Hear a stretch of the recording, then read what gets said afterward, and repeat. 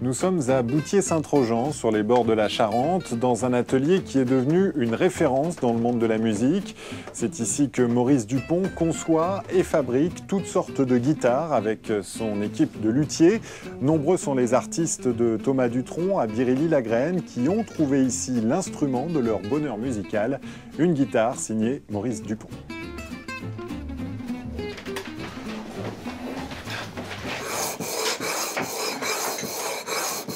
Alors là, je suis en train de, de préparer une touche. Alors la touche, en fait, c'est la partie donc, qui est sur le manche de la guitare en ébène.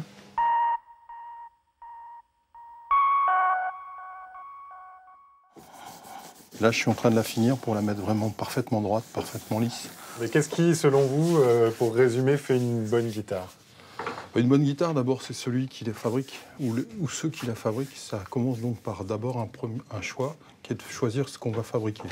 Donc là, moi, je, je l'explique en disant que c'est une recette comme en cuisine. C'est le, le- le- le- le- le design de l'instrument. Là, on a, on a trois guitares différentes. On a, pour le même type de guitare, la même recette, le même point de départ, on a deux bois très différents. Un, D'un côté, on a un palissandre des Indes, et de l'autre côté, on a un, un acajou du Brésil. Et alors, qu'est-ce que ça change? Ah, ça change vraiment le son de la guitare. Celle-ci va être plus brillante, un peu plus sonore, ça donne un son un peu plus rond, un peu plus chaud. Le- le- et c'est juste le fond. Le fond colore le son.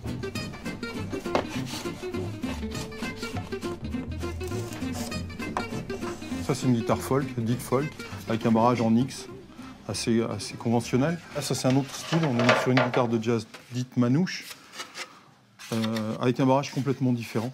J'ai commencé à faire des guitares et au départ, cette guitare-là, ce type de guitare-là, je ne les connaissais pas parce que c'était vraiment pas du tout connu quand j'étais jeune.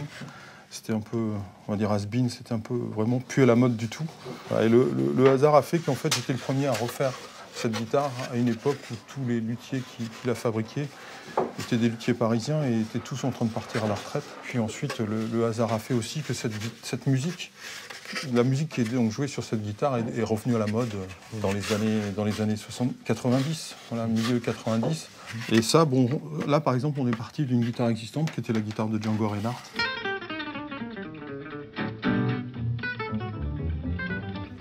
C'est une toute petite ouverture. hein, euh, Oui, c'est c'est vraiment la particularité de cette guitare. Elle est ai- aisément reconnaissable à ça, à cette rosace minuscule, qui, qui lui confère un son assez particulier, assez compressé. C'est une guitare qui doit être, doit être jouée très énergiquement. Au départ, quand on choisit un bois, on a plutôt a priori de choisir pour le son. Et après, on va, dans une même essence, trouver des différences de, de, de- de dessin. De, je vais vous faire voir un exemple là, dans un bois assez, assez, euh, assez, assez intéressant. On va prendre un, bois qui peut donner des choses très, très étonnantes, qui est le cocobolo. C'est le, même- c'est le même bois, mais on peut avoir vraiment des dessins complètement différents. Il y a des bois absolument extraordinaires. Un autre là, voilà, le Zebrano. Alors vous allez très vite comprendre pourquoi, Pourquoi on l'appelle. s'appelle comme ça Voilà, D'accord. il est zébré, euh, vraiment. C'est assez, assez intéressant au niveau esthétique. Il y a un Américain qui disait euh, Je suis wood addict, c'est-à-dire je suis accro du bois. Quoi. En fait, euh, quand, quand je vais acheter du bois, il m'arrive fréquemment de partir pour me dire j'ai un budget de temps pour acheter du bois. Et quand j'en vois qui vraiment me plaît, je vais en acheter deux, trois fois plus. Quoi. Donc je me mets euh, quelquefois dans le rouge à la banque parce que, parce que voilà. Comme un manouche sans guitare, comme un château sans la Loire. Quand t'es pas là, Il y en a deux ou trois là qui ont des belles histoires. Alors celle-ci qui est la, la guitare, la première en fait qui a été l'histoire de la guitare. euh, Pour moi, ma rencontre avec la, la Selmer. Donc ça c'est la première que j'ai fabriquée en mai 86. La toute première. Ouais, vraiment. Elle a été faite pour un musicien d'Angoulême et qui l'a joué euh, vraiment beaucoup. Elle a, elle a fait pas mal de concerts. De... Un musicien manouche? Ouais, voilà, vraiment un manouche. Bon, cette guitare elle va avoir bientôt, dans quelques mois, elle aura, dans trois mois, elle aura 28 ans. C'est pas mal. Voilà. Il y a également une autre guitare qui a une, une grande histoire. C'est cette guitare de jazz. euh, Alors ça, c'est une guitare de jazz également. Voilà. Et cette guitare-là bah, a été longtemps jouée par Birilly Lagraine. D'ailleurs, elle a eu un petit pet dans un cabaret à New York qui s'appelle le Blue Note, un lieu un peu mythique dans le jazz. Il avait glissé dans l'escalier, la, guitare avait tapé ici. C'est une guitare où il a enregistré plusieurs disques avec. Elle a un peu servi, on voit.